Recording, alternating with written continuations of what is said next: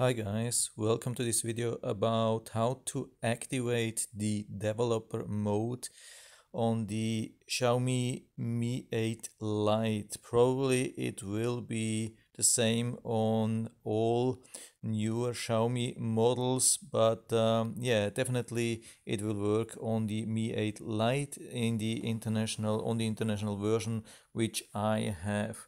I have been googling for that and the first thing which you will find on Google it didn't work. So I tried a little bit around with my phone and this is where I have found uh, something. So it's uh, right away the first thing on top it's uh, called about phone.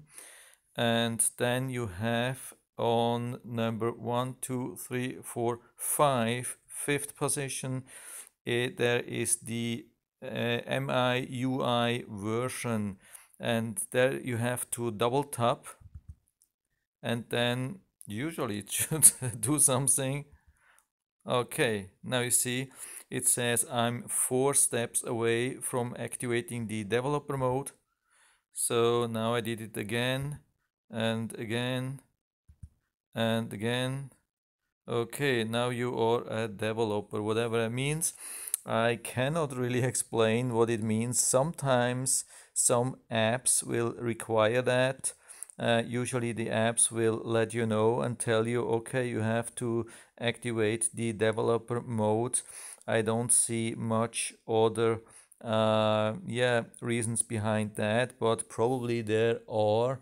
Uh, but at least now you know how to activate it on the newer Xiaomi models. So that's it for now. I hope I was able to help you a little bit with that.